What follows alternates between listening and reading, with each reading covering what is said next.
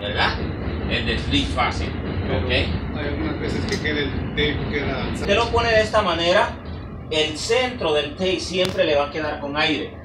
Cuando usted viene a lijar, ese aire no se le quita.